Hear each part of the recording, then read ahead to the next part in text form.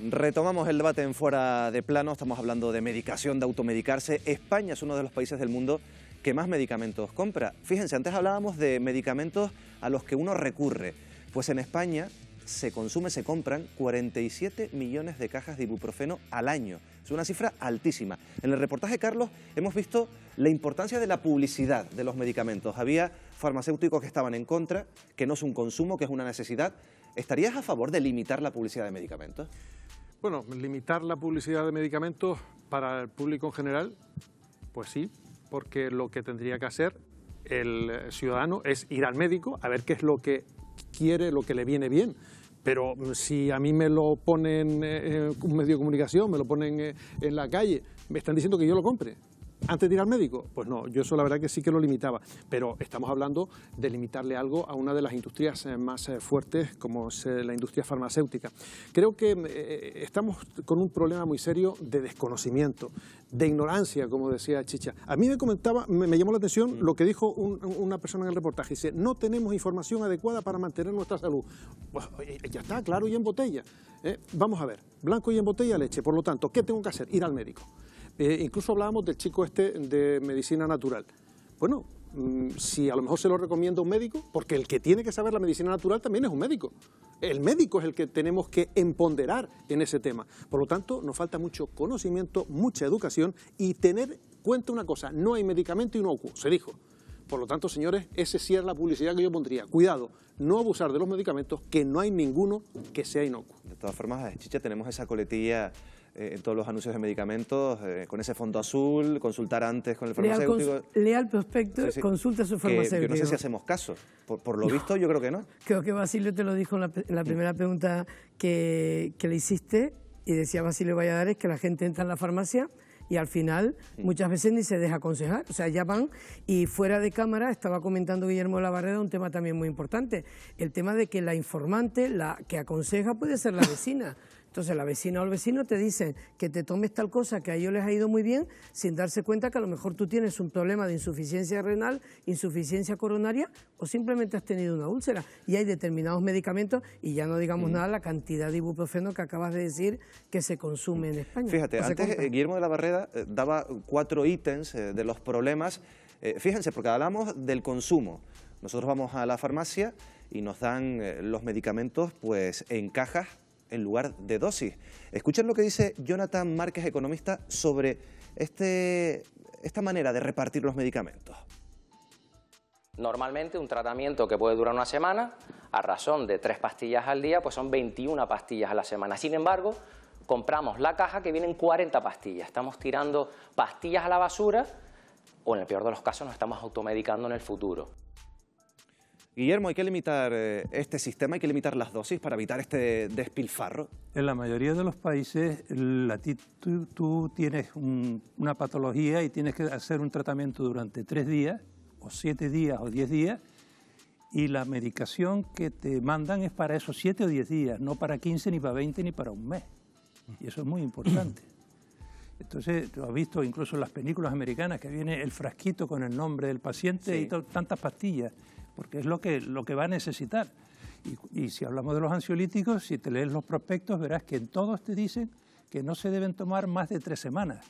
Y hay gente que lo lleva tomando años. Pero, y lo siguen recetando. Ahí es el problema. ¿Por qué no se ataja esto, Guillermo? Porque hay que tomar una serie de medidas que son muy importantes. La primera medida es que mm, la receta electrónica mm, sirve para que esté sacando medicina, medicina, medicina, cada tres o cada cuatro meses la misma medicina. Y lo que habría que hacer es controlar a la enfermedad en la consulta. ¿Pero por qué no se controla? Porque no hay médicos suficientes, porque no hay consultorios suficientes, etcétera, etcétera, etcétera. Eso por un lado. Y por otro lado, hay que tener en cuenta que una cosa que es muy importante.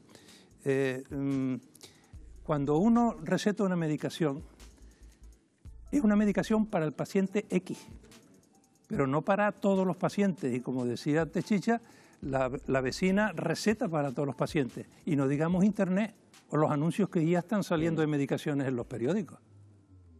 Después otra pata es las relaciones entre la industria farmacéutica y también el colectivo médico, porque esto siempre ha sido bastante polémico, Fernando, y, se ha criticado mucho.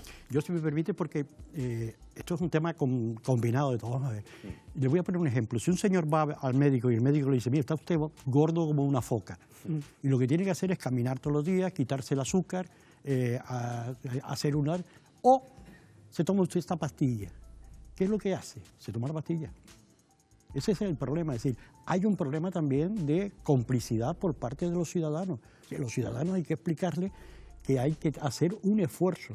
Eso es un tema que pasa siempre, digo, en el mundo económico. Es decir, le estamos echando la culpa a un señor que se aprovecha de la complicidad de la gente. Si la gente lo que quiere es, si a mí me dice que yo tomándome una pastilla todos los días me pongo hecho un figurín, me tomo la pastilla, porque el otro exige un esfuerzo. Por eso digo, vamos a echar la culpa al otro lado a lo que quiero llegar. Esto es un problema de educación desde el principio, porque la gente hay que explicarle que la enfermedad no es un producto que se, que se combate en un, sentado o en un despacho, tiene que ver con toda nuestra vida, con nuestras prácticas de, nutricionales, que salió allí muy bien, las rutinas, tiene que ver con muchas cosas. ¿no? Entonces aquí nos sentamos y decimos, la culpa es de la farmacéutica. No, mire, usted también tiene parte de culpa. ¿eh? Antes comentábamos, Fernando, que ya había eh, muchos eh, analistas, también muchos profesionales que estaban pues alzando la voz ante esta excesiva pues medicación esta excesiva automedicación. Uno de ellos es, como decíamos, uno de los cirujanos más prestigiosos de nuestro país,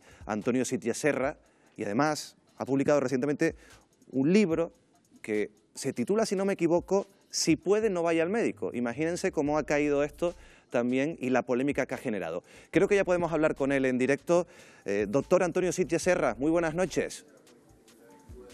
Muy buenas noches y muchas gracias por vuestra atención. Bueno, título provocador. Eh, yo no sé si este título buscaba precisamente eso, provocar o generar el debate que estamos teniendo. Generar el debate, ¿no? Cuando uno busca un título también busca exagerar un poquito para llamar la atención, lógicamente, y a partir de ahí estimular un debate que me parece absolutamente lícito y necesario en estos momentos. ¿Pero cree de verdad que yendo menos al médico podemos eh, tener mejor salud? Perdone por, simplificarlo tanto. es una buena pregunta. Ah, de hecho, un poco la, tesis general del libro es que nuestra salud es buena, los índices de salud de nuestra población española son de los mejores del mundo, que no hay que preocuparse, es un libro que pretende enviar un mensaje liberador ¿no? a la ciudadanía, que no se preocupe tanto por la salud, que nuestra salud en general es buena, y es buena porque también tenemos eh, buena sanidad, pero sobre todo también estilos de vida. ¿eh? Pensad que la medicina contribuye un 15 o un 20% a la salud, pero el resto son los factores ambientales. Por tanto, no más medicina implica siempre más salud. De hecho, el exceso de médicos también puede comportar la generación de un exceso de, pacientes. Los médicos también quieren ganarse la vida. Eh, lo, explica perfectamente, pero también es verdad, y en esto coincidirá conmigo, en que a veces estos chequeos periódicos, no tenemos por qué ir al médico, nos descubren ciertas enfermedades. Y en la prevención quizás, a lo mejor también está la clave para tener más salud.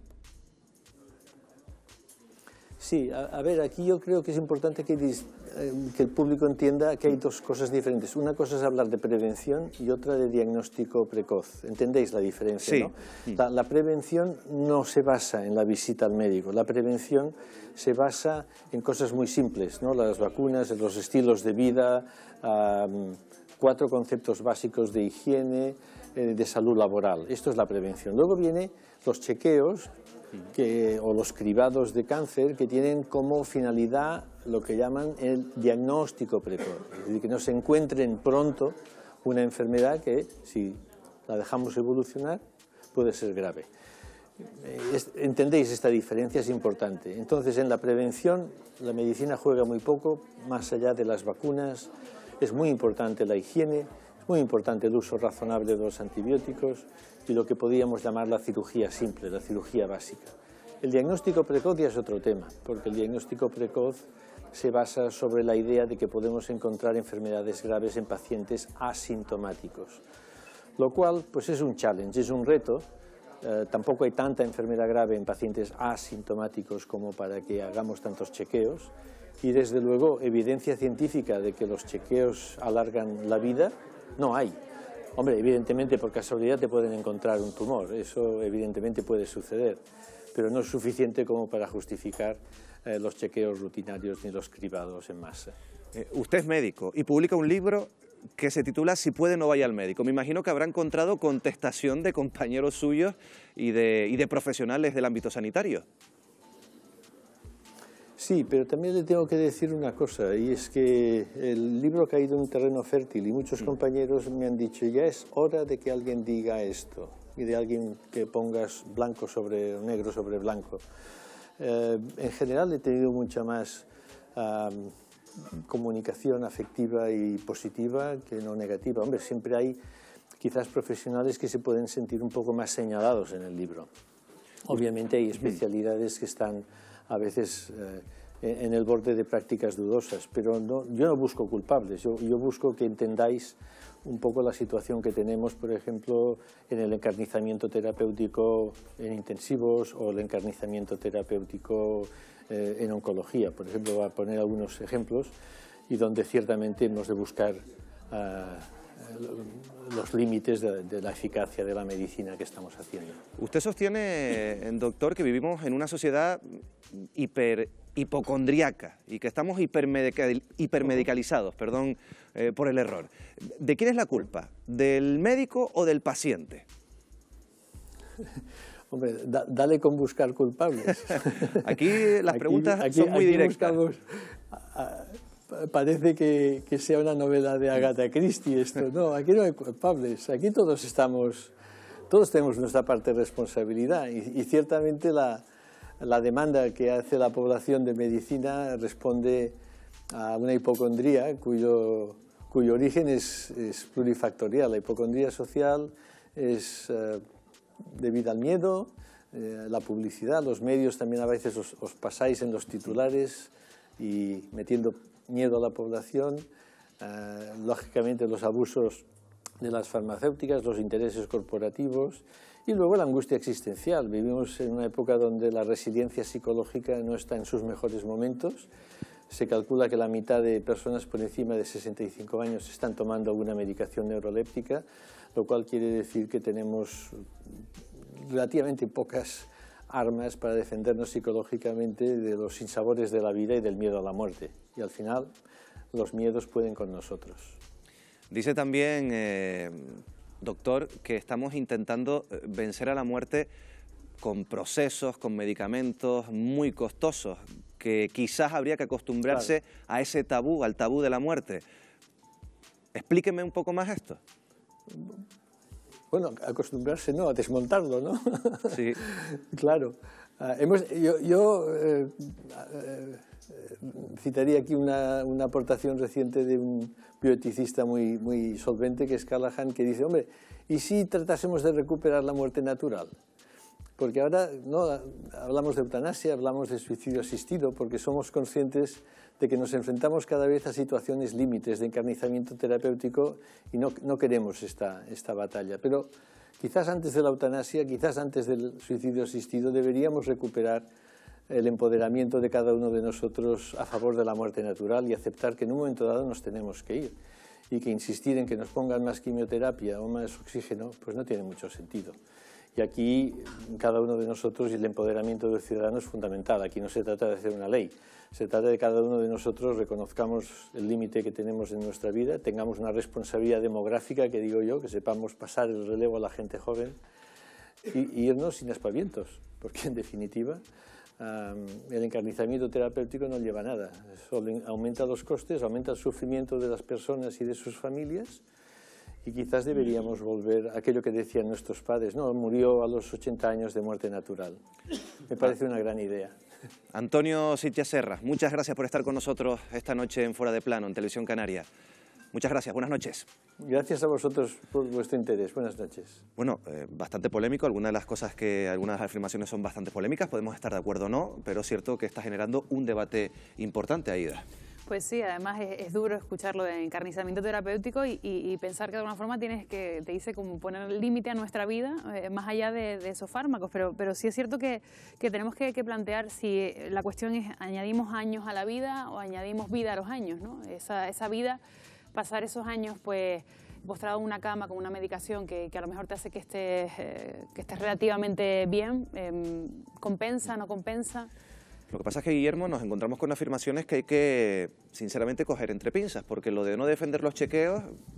Bueno, vamos a ver. Eh, yo creo que mm, la filosofía de este hombre es muy sencilla. Él está defendiendo la medicina humanizada que ha desaparecido, porque estamos viviendo la medicina tecnológica, que significa que ya el paciente no lo ve el médico o lo ve durante cuatro minutos no lo explora y se, se soluciona el problema, simplemente hágase usted una resonancia, haga usted una gamografía, hágase usted tantos análisis, etcétera, etcétera, etcétera. Y al mismo tiempo, él está denunciando una cosa que es muy importante, y es la interferencia que se está haciendo por parte de la gran industria farmacéutica sobre la salud y la sanidad de la gente. Pero no tendremos que olvidar ninguna cosa los hombres siempre han buscado la vida eterna, la fuente de la inmortalidad. Y desgraciadamente hay que pensar, como dice él, que todos tenemos nuestro fin.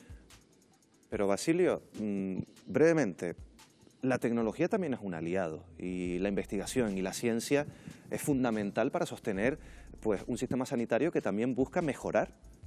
Esto hay que decirlo claramente también. Sí, la investigación básica y la investigación clínica lo que encamina es, mejorar la vida, alargar la vida y eh, en eso se basa. Y los grandes avances de la medicina han hecho que antes una persona, y, hoy en día en determinadas zonas del mundo no pasan de 35 años, y nosotros vamos con una esperanza de vida de ochenta y tantos años según nos han indicado las estadísticas.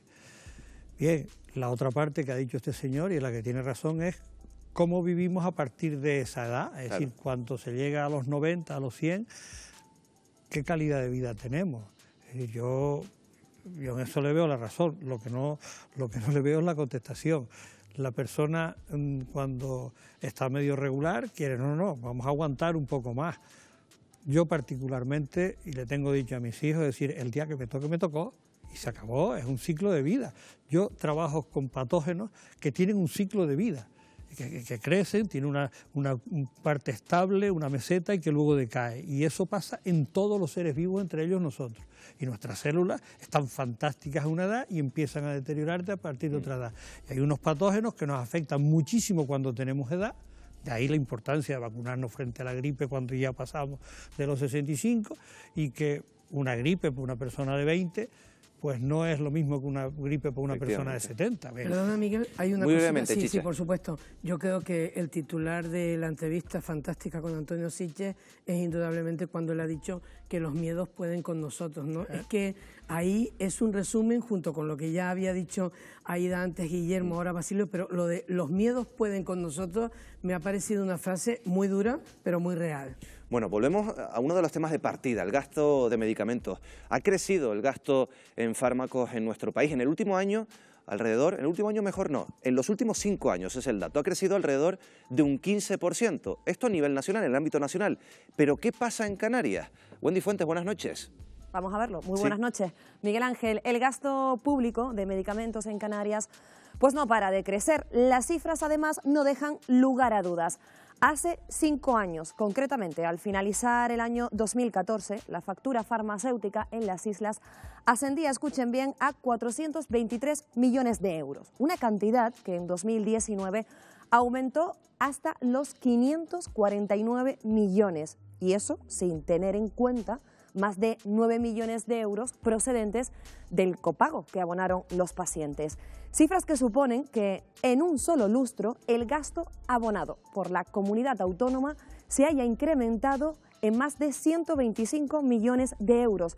Pero ¿qué peso tiene este coste en el conjunto del gasto sanitario canario?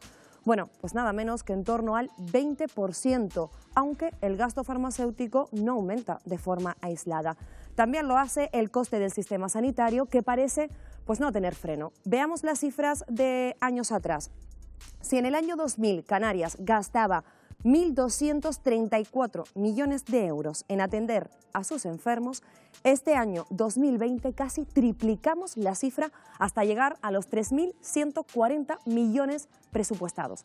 Para que podamos ponerlo en comparación, si el presupuesto total no financiero de la Comunidad Autónoma de Canarias para este año es de 8.066 millones de euros, con este volumen, las partidas destinadas al Servicio Canario de la Salud suponen nada menos que el 39% del total.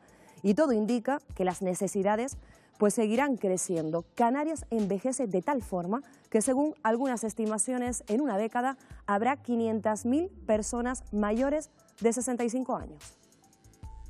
El envejecimiento de la población eh, inevitablemente aumentará el gasto sanitario en el futuro. Envejecemos, necesitaremos más cuidados y más medicamentos. Luego nos podremos ver en un, en un futuro en el que nuestro sistema sanitario tengamos que o bien recortar o nos veamos obligados a ser más eficientes.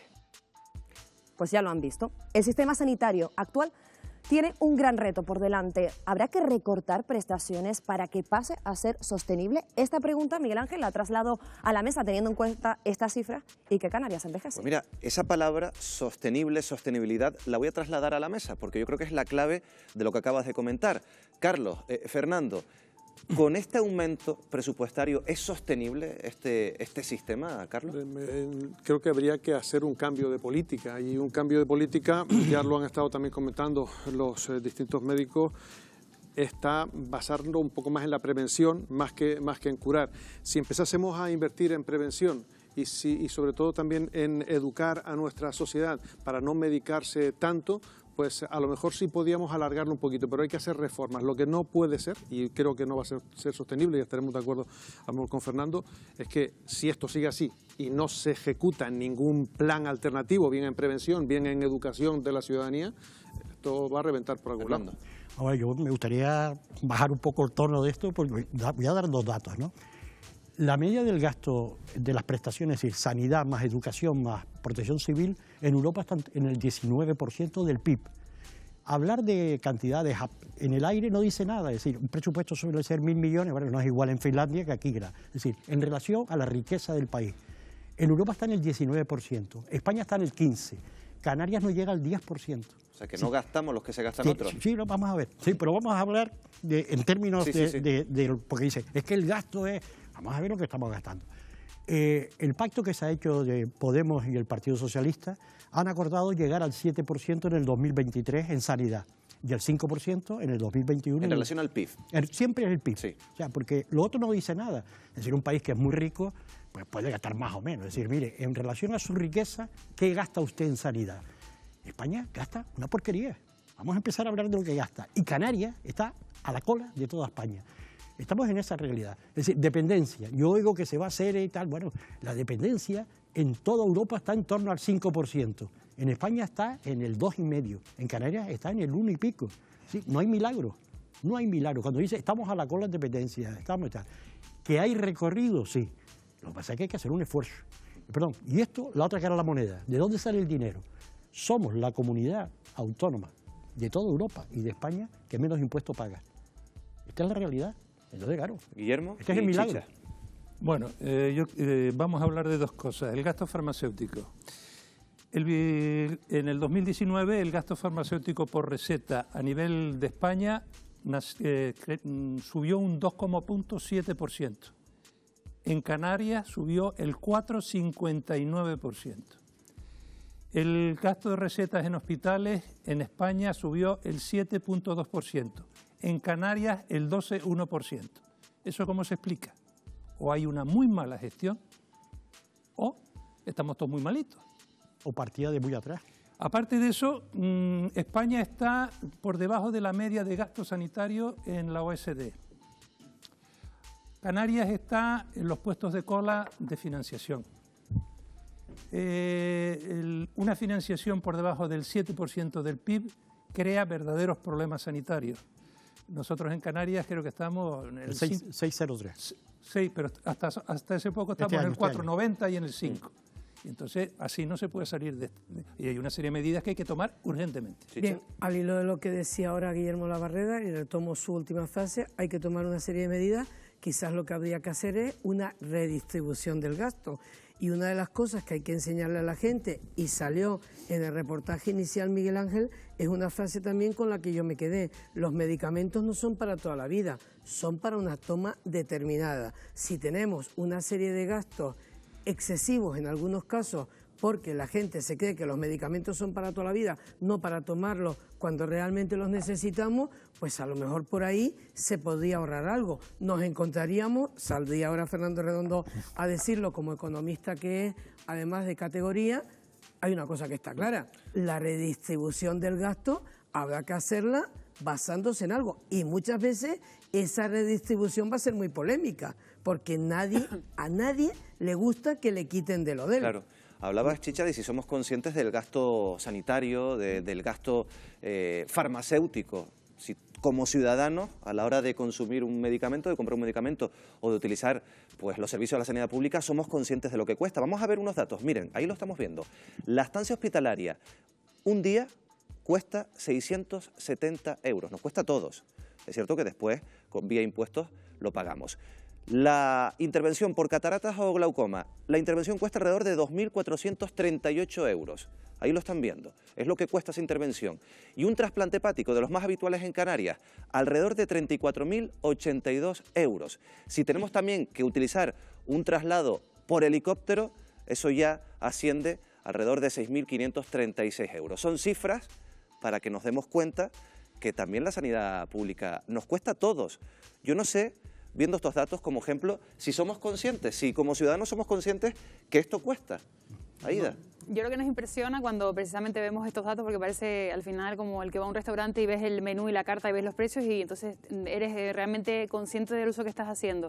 Pero hay que pensar también en la contención del gasto farmacéutico. Cuando empezaron los primeros años de, la crisis, eh, empezaron con medidas como, por ejemplo, reducir el, precio del, fármaco a través de los, conocidos como genéricos, ¿no? que, es verdad que al principio había un poco de reticencia en la, en la población, pero no se consiguió en ese momento, no se consiguió reducir de alguna forma la prescripción de, de esos fármacos, con lo cual Em, se atacan todos los puntos, pero en, eso es a lo mejor donde precisamente se debería incidir en, quizá poner más profesionales que puedan dedicar más, eh, más tiempo a esos pacientes para lo que ya han comentado mis compañeros, de realmente pues hablar de, esa, de esa prevención, de esa vida saludable y que no sea, pues, al final ir a la consulta del médico y que en 10 minutos te tengan que, despachar porque tiene una lista interminable a lo mejor de 40 pacientes ese día. Bueno, ahora les pregunto también por este asunto a todos. ¿Somos conscientes del gasto que representa eh, este tipo de, intervenciones, de medicamentos, farmacia,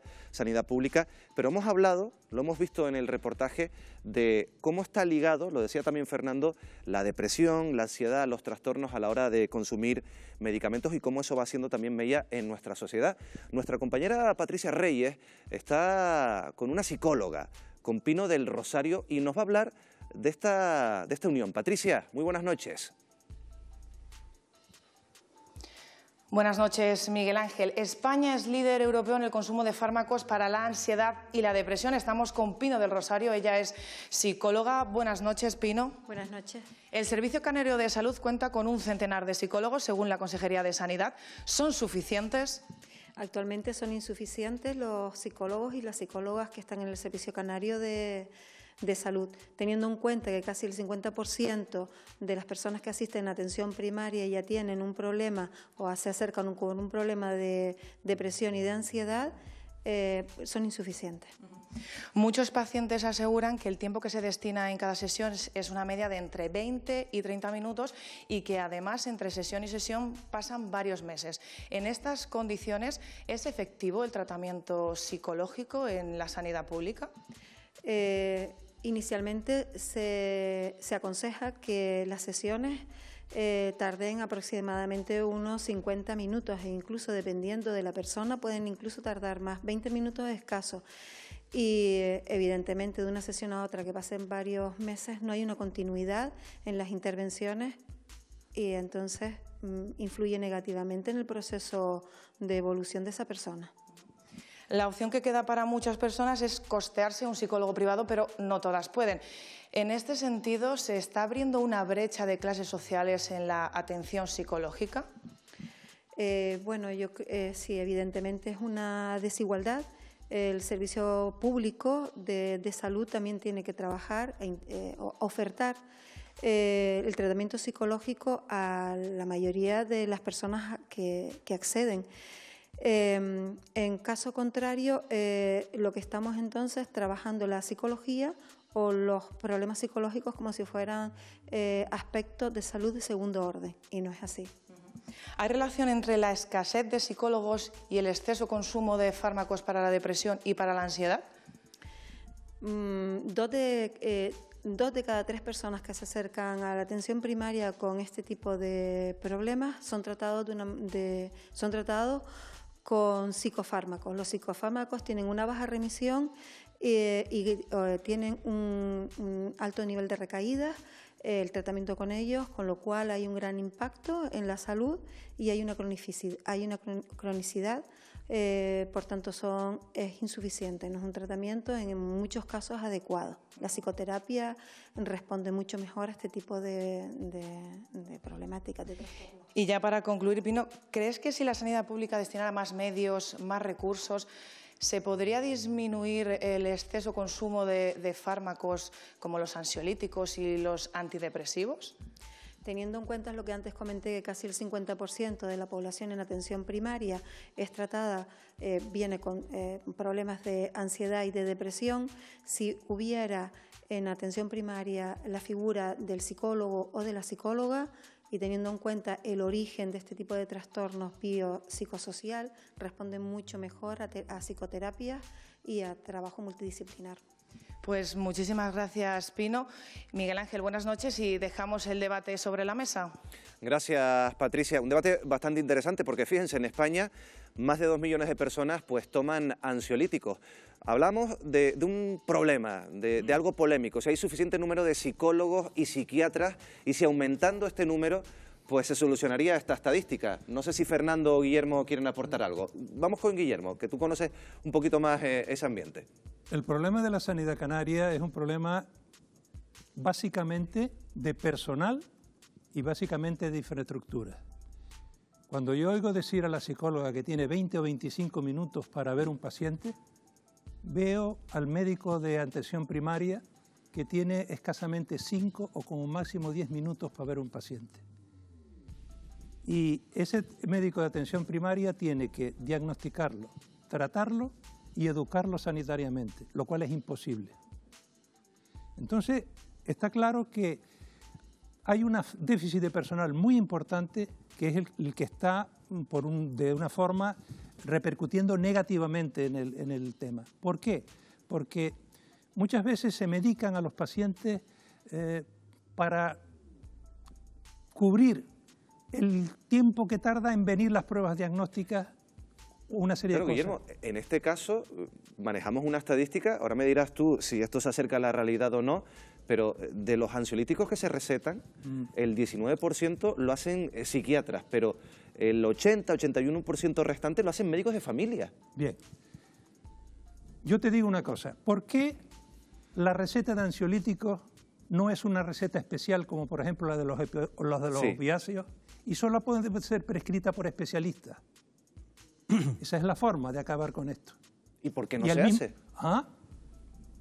Déficit de gestión. Claramente. Y luego, el señor que es especialista le dice, mire, esto durante cinco días, cinco pastillas. Esto durante diez días, diez pastillas.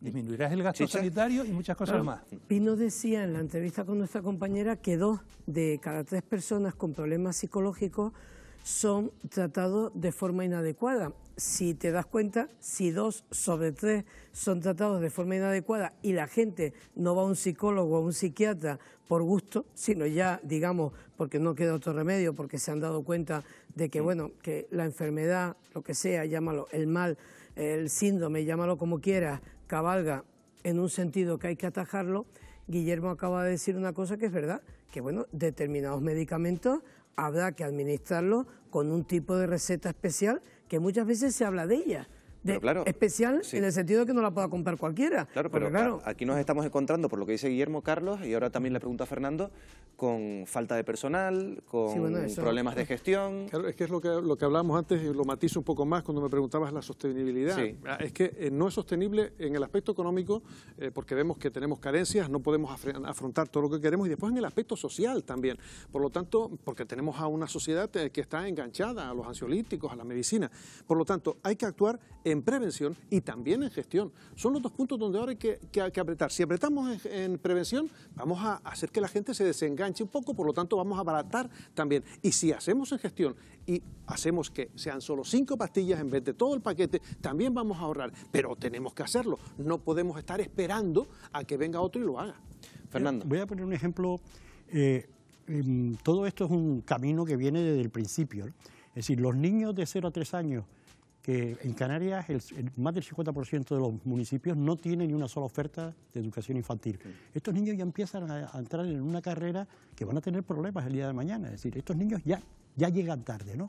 Entonces, esto es un conjunto de todo el sistema. Estos niños no tienen tratamiento. y entonces nos hemos acostumbrado a decir frases como si fueran normales. La pobreza se hereda, la incultura se hereda, la violencia se hereda. Oye, vamos a romper este sistema. Evidentemente todo no es el sistema sanitario, también es el sistema educativo, es un tema mucho más complejo. Pero yo siempre digo una frase, porque al final siempre dice, bueno, no todo dinero. Mire, el dinero no da la felicidad, pero ayuda un montón. La, compra hecha, la compra hecha, como se suele decir. vamos a no decir, otra de las se invierte, cambiamos, cambiamos de tercio, cambiamos de tercio, porque otra de las patas que hemos visto en el documental, pues es el problema que tenemos con los antibióticos. Alrededor de 3.000 personas en España mueren mueren por resistencia a estos antibióticos. Y vemos en el documental, pues, una pata, otra pata de este problema, porque se utilizan antibióticos para, pues, para criar animales. Eh, lo escuchábamos, lo veíamos en el reportaje, eh, en la voz de Javier Guzmán, que es, eh, pertenece a Justicia Alimentaria. Y lo explicaba de esta manera, escuchen. En España hablamos de más de 30 millones de cerdos. Estos cerdos son tratados con antibióticos y estos, claro, las, eh, el contacto con las bacterias, estas bacterias son, empiezan a ser resistentes porque son a veces eh, antibióticos muy parecidos a de los humanos. Bueno, claro, nos preguntamos qué hay de cierto en esto, si la carne que consumimos tiene antibióticos. Se lo vamos a preguntar a la presidenta del Colegio de Veterinarios de la provincia de Santa Cruz de Tenerife, María Luisa Fernández. Buenas noches. Hola, buenas noches. Bueno, ¿esto es cierto? ¿Consumimos carne con antibióticos? No, radicalmente no.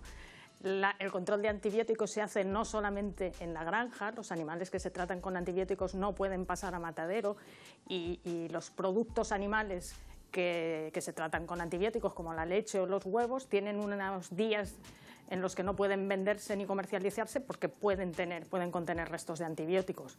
Y este tipo de controles es muy, muy estricto. Eso no quiere decir que los animales no se puedan tratar con antibióticos, pero los animales que se tratan no pasan a la cadena alimentaria. Mm. Esto pasa en España, pasa en la Unión Europea. ¿El control en otros países, al margen de la Unión Europea, es similar o, o es diferente? Es similar, pero no es tan estricto. Los controles europeos son los mejores controles que hay ahora mismo en el mundo, incluidos otros países muy desarrollados como Estados Unidos o, como Australia y podemos estar a su altura o por encima de su altura también. Mm. Lo que pasa es que si analizamos las estadísticas nos damos cuenta que España es uno de los mayores consumidores de antibióticos para animales. No sé si esto guarda relación directa con lo que estamos hablando. Bueno, España fue, más que es, uno de los mayores consumidores de antibióticos para animales cuando sí estaban permitidos para el engorde de los animales, no ahora. La situación ha cambiado muchísimo en los últimos años. Y España fue en su momento un gran eh, consumidor de antibióticos porque es un gran productor, sobre todo de porcino, que es en los que más se utilizan este tipo de, de, tratamientos. Se utilizan, no, se utilizaban este tipo de tratamientos. O sea que podemos estar tranquilos con la carne que consumimos en nuestro país. Absolutamente. Bueno, pues nos quedamos con, esa afirmación tan rotunda. María Luisa Fernández, muchas gracias, buenas noches. Muchas gracias a vosotros. Bueno, esto es otro tema también, Basilio. Tú has trabajado con, bacterias durante muchos años. Este fortalecimiento de las bacterias por el abuso de los antibióticos, por lo menos eh, la presidenta del Colegio de Veterinarios de Santa Cruz de Tenerife nos ha dicho que esto ya no se da en nuestro país, ya no se dan antibióticos a los animales, pero el hecho de que las bacterias cada vez sean más resistentes a los antibióticos es un problema.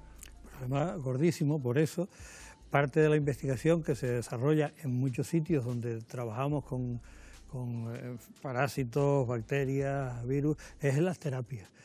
terapias que van adecuándose en cada momento y buscando nuevas moléculas que las que se están encontrando ahora, dentro de 8 o 10 años, aquellas que realmente sean una avanzada estarán en, eh, para el consumo eh, humano de forma natural. Pero no solo es el mal uso que se ha hecho durante mucho tiempo, ahora yo les invito a todos ustedes a acercarse a una farmacia y pidan un antibiótico. No se lo dan, salvo que esté previamente recetado por un médico, lo cual es la forma adecuada. Y al mismo tiempo, en la receta más el consejo farmacéutico le lleva a decir usted se lo tiene que tomar los 5, los 7, lo que le ha mandado según el tipo de antibiótico. Eso es así. Pruébenlo para que vea cómo funciona así. En veterinaria, efectivamente, lo que dijo Marisa es cierto. Es decir, durante un tiempo se funcionó de cualquier manera. Incluso pues, el, perrito tiene tal y se lo dabas al perrito porque es un eso de familia y, se lo damos. Ya eso no funciona así. Con lo cual, todo eso son avances. Pero yo les agrego una cosa más. Nosotros hemos encontrado por el aire gérmenes que nos llegan de África, que nos llegan de otros sitios, genes que generan resistencias en antibióticos y que se transfectan cuando llegan a, tocar eh, nuestro ambiente. Y eso es un, problema más añadido. Lo que está claro, Miguel Ángel, sí, sí, brevemente, lo que está claro, Miguel Ángel, es que María Luisa Fernández, la, presidencia, la presidenta contundente. del es contundente, te deja tranquilísimo y está estupenda para desmentir todos los bulos que están en circulación. Lo que pasa es que se remonta a lo que pasaba en este país hace algunos años. Hemos pasado de, de ser los principales consumidores de antibióticos en animales a ahora mismo tener y adecuarnos a la regulación europea. Pero igual que pasó con los pesticidas en su momento, ¿no? El desconocimiento quizá de, a la larga lo que podía ocurrir ha causado todo esto. Y leía hace muy poco un titular que, hablaba que de aquí al, 2030 puede ser que haya más muertos por bacterias, eh, o sea, que resistentes que el, que el cáncer. Que ahora mismo vemos que el cáncer está como a, la cabeza, ¿no? Y en, fallecimientos. Y justo también remitiéndonos al, reportaje, decía eh, Beatriz López de la Universidad de Las Palmas, la investigadora, hablaba de que precisamente hay las cinco bacterias súper resistentes que hay en este, este momento generan un gasto farmacéutico eh, eh, sanitario que al final son más de mil millones más. Claro, lo cual... esto, es una guerra. Eh, Guillermo, hay una bacteria resistente, hay que investigar un antibiótico con más intensidad y, se van, van compitiendo, vamos compitiendo con las bacterias. Por supuesto, todo esto es cierto, pero ¿por qué hay un aumento de consumo de antibióticos y los antibióticos no se pueden sacar sino con receta? Por dos causas. Primera, porque mucha gente toma el antibiótico que le sobró de la vez anterior y no está indicado en ese momento. Sobra, el que sobra en la caja. El que sobra en la caja y volvemos a lo mismo. Si un antibiótico lo tiene que tomar tres días, tres días de antibióticos, ni uno más. Y otro, porque se toma el que le ha sobrado al vecino. Oye, tómate esto que para la tos me viene muy bien.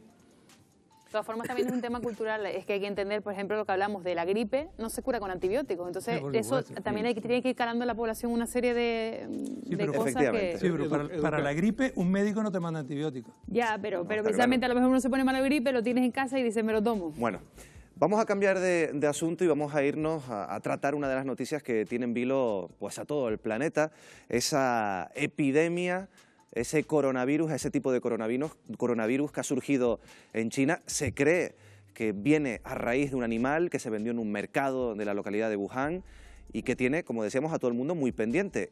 Ya encontramos casos más allá de China, casos en Francia, en Alemania, en Estados Unidos, en Canadá. Y ojo, porque estamos muy pendientes de lo que pase también con varios casos en la isla de La Gomera que están en estudio, ciudadanos alemanes que se han trasladado a la isla y que podrían tener esos síntomas. Pero como digo, está en estudio y todavía no sabemos si van a dar positivo en este coronavirus. coronavirus. Pero queremos conocer un poquito más de qué estamos hablando cuando hablamos de este coronavirus chino. Wendy Fuentes, creo que estás con un invitado. Pues sí, esta noche nos acompaña el doctor Jacob Lorenzo Morales, director del Instituto Universitario de Enfermedades Tropicales y Salud Pública de Canarias. Buenas noches. Buenas noches. Ya lo decía Miguel Ángel, el número de infectados por el coronavirus en China no para de crecer. Incluso ya supera los de la epidemia del SARS en el año 2003. Esto inevitablemente genera inquietud y también muchas dudas. Y por ello estás esta noche con nosotros, Jacob. ¿Cuál puede ser el origen de este virus? Bueno, pues en principio eh, se piensa que el virus es un virus zoonótico, es decir, es un virus de patógenos animales que ha conseguido saltar eh, e infectar a humanos. Eh, y en principio se pensaba que el foco de infección por parte de las autoridades sanitarias chinas y la Organización Mundial de la Salud eran los murciélagos. y otras hipótesis han optado por, por ah, indicar que podrían ser los, los reptiles. El foco de infección en humanos ha sido un mercado de alimentos en, eh, al aire libre con presencia de animales vivos en la ciudad de Wuhan, en China. Preguntarte eh, eh, cuáles son los síntomas y cómo influye en, la salud de la persona este virus. Pues son los síntomas típicos de un resfriado o una gripe. Si bien la mayoría de los pacientes afectados son asintomáticos, en aquellos pacientes que sí muestran síntomas, estos suelen cursar con fiebre y fatiga, junto con tos seca y dificultad respiratoria. Preguntarle, ¿cómo se contagia? Pues en un principio se pensaba que el contagio era por contacto con animales infectados, si bien en los últimos estudios de las autoridades sanitarias chinas junto con la Organización Mundial de la Salud se ha visto que puede también haber un contacto persona a persona, tanto en China como también en los casos recientes en Alemania. Teniendo en cuenta sus síntomas, eh, queríamos saber también cuál es su tasa de mortalidad, la de este virus, el coronavirus. Pues por ahora es bastante baja, si bien en los últimos días ha subido hasta casi un 3%, según los datos de la, de la OMS. Eh, si lo comparamos con el SARS, la epidemia final que tuvo una tasa de mortalidad de un 15%, que es otro coronavirus, o el MERS, que sigue activo en la zona de, Arabia, este presentó un 35% de, mortalidad. Si lo comparáramos con la gripe, que además depende de, las regiones y de la población afectada, los últimos datos disponibles de la OMS hablan entre en torno a 250 y 500 mil eh, muertos. ¿Y está justificada la alarma que está generando este virus? ¿Tenemos que preocuparnos de verdad? Por ahora creo que no debemos estar alarmados. Eh, las autoridades sanitarias chinas junto con la OMS han controlado bastante bien el foco principal, la ciudad de Wuhan y, otras zonas afectadas. Eh, y debemos ver qué, está qué va a ocurrir en los próximos días. Ya se ha visto que el virus tiene una tasa de mutación bastante alta, pero tenemos que esperar a ver qué hacen las autoridades y, y los especialistas en el tema. Aprovechando esta imagen, la pregunta, ¿llegará a España el coronavirus? Pues debido a las migraciones y a los viajes internacionales, eh, la probabilidad de que ocurra es posible. Ya hemos tenido los primeros casos de sospecha en la península, que han sido negativos. Hoy tenemos estos casos en, La Gomera sospechosos también. Eh, pero me vuelvo a reiterar que la zona principal de contagio ha sido bastante bien limitada, por lo que la probabilidad sigue siendo bastante baja. Gracias por estar esta noche con nosotros, resolvernos estas dudas. Miguel Ángel, yo me quedo con el titular. No tenemos por qué preocuparnos de momento. Yo creo que eso es lo fundamental. Pero ya que tenemos a Basilio Valladares por aquí, me gustaría preguntarle, incidiendo un poco en esa idea, si debemos preocuparnos, eh, de qué manera afrontar esta crisis, porque es verdad que ya el número de contagios ha superado al del SARS. Eh, yo me acuerdo de que el síndrome de respiración aguda también fue una noticia bastante mm, contundente y que llamó, llamó la atención a todo el mundo y provocó una alerta este coronavirus ya ha superado al SARS. Yo no sé si tenemos que preocuparnos, Basilio. Estoy de acuerdo con lo que ha dicho Jacob. El número de, pacientes eh, puede variar. Lo importante es el índice de letalidad, es decir, cuántos se mueren por cada 100.000 habitantes. O el porcentaje, si en vez de por 100.000 lo vas a dar por 100. Yo creo que ahí es donde está el, el problema. Los virus que nos llamaron la atención y nos parecía que se iba a morir todo el mundo, pues tuvieron una letalidad en el veintitantos por ciento, el 30 por ciento, aquello luego se paró y se acaba. Este parece que es menos letal y hay que primero hay que ver cómo evoluciona y según los propios especialistas chinos dice que eh, llegará en menos de 10 días al pico y luego empezará a decaer. Yo eso no me lo creo mucho tal como va dando y que es un principio, pero y sobre todo por los hábitos de vida. Estamos hablando de una población, solo eh, la, población donde se detectó son 11 millones, de habitantes. En la ciudad de eh, Wuhan. y la zona, estamos hablando de 46 millones de habitantes. España. España. Y los paralizaron a todos. ¿Ustedes se imaginan a toda España metida en su casa? Pues eso lo han hecho ellos, es decir, es otra manera de comportarse y de funcionar. Yo la sensación que tengo es que, bueno, puede que nos llegue algún caso, nos han amenazado con que nos va a llegar la hecatombe en varias ocasiones. No llega porque tenemos, digan lo que digan, una gran sanidad con todos los defectos que tiene y con todos los problemas que tiene, con el déficit que antes se mencionó aquí de la prevención y de la salud pública, que habría que aumentarlo, porque eso todos hemos hablado aquí, o he oído hablar, mejor dicho, yo gracias a Dios he hablado poco, eh, el- porque hay cosas que no entendía, las estoy aprendiendo de ustedes, pero se ha hablado de cuánto cuesta eh, un trasplante de riñón, cuánto cuesta una catarata, pero cuánto cuesta la prevención de no tener que cambiar el riñón Claro. o no tener que cambiar las cataratas. Yo estoy seguro que Guillermo, que está aquí al lado, y si sabe de eso, sabe que es muchísimo más barato. O sea que eh, yo eh, emplearía mucho la medicina preventiva y esto que ha pasado, el viernes pasado yo estaba en Granada, hablé, me llamó Domingo Núñez, mira que hay que montar el sistema de diagnóstico. Antes de hablar con Jacob, que es un chico joven y que es el nuevo director del instituto, ya se había puesto en contacto con el CDC de Atlanta, se había puesto en contacto con Alemania, pidió lo necesario, ha diseñado los primers y ya lo- lo- lo- en la próxima semana lo Ahora sigo, ahora sigo, es, es decir, que Jacob Lorenzo ha tenido un buen maestro en ti. Ahora sí, No, doy la no, no, palabra a. Guillermo, pero hablamos de la, de la propagación. Eh, pues vamos a dar una serie de datos, vamos a verlos en pantalla. Fíjense, ayer los datos mostraban que había, ahí lo están viendo, 6.057 infectados y 132 muertos por este nuevo tipo de coronavirus. 24 horas después, solo 24 horas después, hablamos, lo ven aquí, de 7.783 infectados y ya 170 muertos. Basilio Valladares hablaba de que dentro de 10 días hablaremos de un pico y que tenderá a bajar. Vamos a ver si esto pasa. Pero Guillermo, lo cierto es que estamos todo el mundo, está todo el mundo atento a lo que pase con esto. Sí, bueno, ver, cuando hay crisis políticas, cuando hay crisis económicas, hay que buscar o el fútbol o algo. Voy a hacer unas pequeñas reflexiones. Sí, sí, brevemente, Primera venga. reflexión. China, 7.000 afectados, 170 muertos. España, gripe, 25.000 afectados, 927 muertos. 52 de cada 1.000 niños están infectados por la gripe. Segunda reflexión. ¿Cuántos miles de muertos hay por la malaria, por el dengue, por el Zika y no nos preocupamos? Y la última reflexión. Sabemos que se propaga. Entonces, ¿por qué se está sacando de la cuarentena? Claro, pero eso es sacó- contrario a las recomendaciones de la Organización Mundial de Salud, los, Lo contrario a la Organización. Mundial de Salud. ¿Por qué no se hizo lo mismo cuando lo de las vacas locas? ¿Hubo algunas sali- hubo salidas masivas? No hubo. Bueno, lo, lo cierto es que eh, también hay polémica, porque claro, el origen de este virus es China. eh, en su momento con el SARS hubo, pues, mm, no sé si dudas con la información que salía de China. Ha habido, pues, eminentes médicos en nuestro país, como Pedro Cavadas, eh, que ha dicho que él no se cree las cifras de China y que él dice que hay muchos más muertos de los que se ha publicitado. ¿Ustedes creen esta reflexión, esta eh, teoría de la conspiración, Aida?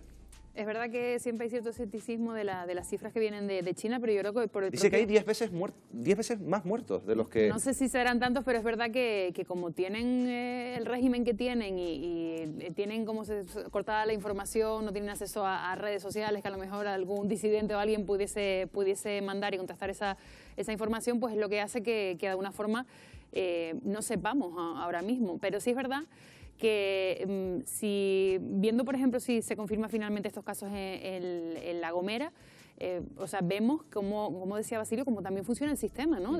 Oye, te llaman de Alemania y dices, oye, que estas personas que están en la, Gomera han estado en contacto con unas personas infectadas, o sea, cómo, cómo funciona deberíamos estar orgullosos de todo ello. Y yo creo que también la espectacularidad de, de todo lo que está ocurriendo, de los acontecimientos de, de que escuchas de, lo leíamos hoy, hoy en prensa, Sí, ¿no? bueno. Se han agotado las mascarillas de todas de las cooperativas cosas tan farmacéuticas de, de espectaculares Canarias. cosas tan espectaculares como el ritmo en la construcción de, ciertos hospitales Sí, en sí, China no, no, es porque pasada, hemos visto vamos, estamos 10 viendo esas imágenes en 10 días eh, dicen que van a construir un hospital de mil camas en dos camas. semanas otro hospital hemos visto 40 50 palas Yo, mecánicas perdóname la removiendo broma, los traemos para Canarias, hay que montar infraestructuras y nos montan Vamos esto a en un ver, momento. ver. venga Guillermo muy Vamos a breve ver, para darle la ver. palabra a Carlos venga Dos puntos importantes. Hay que analizar por qué y qué calidad tienen los muertos. Porque si son muertos normalmente, igual que los de la gripe, en personas Sí, el tienen perfil una es gran mayor de patología y tal y cual, 60, hay que buscar el perfil de los 65. muertos. Que no y de todas formas hay menos muertos. Y cuanto a eso, el hospital, no, no, perdona, están creando una zona hospitalaria de aislamiento, no están haciendo ningún hospital. Ahí no están montando quirófanos, no están montando nada. Ahí los que están van a, tener una zona. Pero, pero eh, Guillermo, eso está claro. Pero volviendo a la polémica, ¿está siendo transparente China o no? Porque teníamos la duda, en su momento hubo dudas. Ahora parece que no hay dudas. Carlos. En su momento, eh, ya en otras crisis, eh, no ha sido tan transparente como esta vez. Esta vez ha actuado eh, con mayor diligencia y ha visado y ha alertado a la Organización Mundial de la Salud mm, con antelación. Otra cosa es que haya más que no veamos, pero yo creo que esta vez sí están actuando mejor que en otras crisis.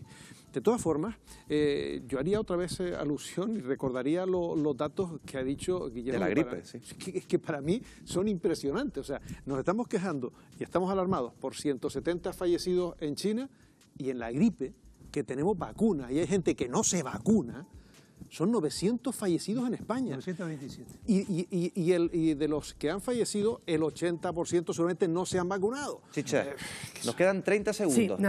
volviendo a los términos que te decía Antonio Siche hace unos minutos en la entrevista que le hiciste, que había que distinguir entre prevención y diagnóstico precoz, yo creo que en este tema del coronavirus prevenir es difícil, pero sí es verdad que si no nos engañan ha habido un diagnóstico precoz, con lo cual nos tenemos que quedar con esa parte. Y a mí me ha gustado que Jacob Lorenzo pues transmita una sensación de tranquilidad. Yo creo que tú me has pedido brevedad, te lo he resumido, yo creo que un diagnóstico precoz ha habido, lo que no sabemos es cómo va a terminar esto, esperemos que bien, y luego un detalle más a lo que decía Guillermo del del hospital. Ustedes saben que estos hospitales son desmontables, como los estadios, porque ahora ya últimamente te enteras que los estadios se construyen, pero que luego se celebra el evento deportivo y se quitan. Pues este hospital es igual, cuando se acabe el tema del coronavirus, se, desmonta pues el hospital. Aprovechando la expresión, mira que se ha viralizado, que se han viralizado esas imágenes, hablando de virus, hablando en este caso de, un coronavirus. Llama la atención. Pues se han viralizado esas imágenes de, de la, construcción de ese hospital en tiempo récord.